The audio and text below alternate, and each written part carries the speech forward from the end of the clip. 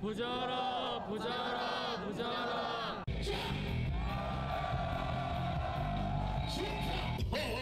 시여 우리의 미래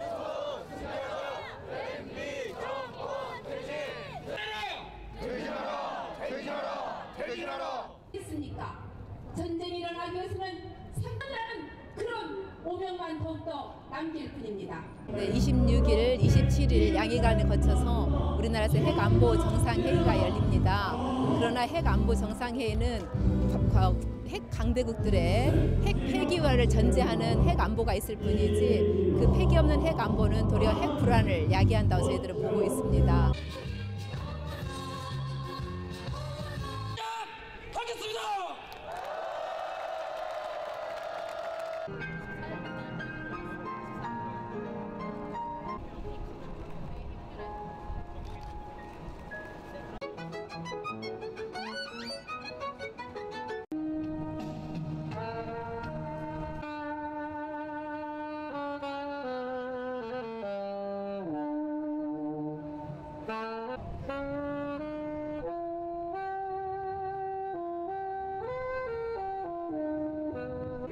평화적인 그게 아닙니다.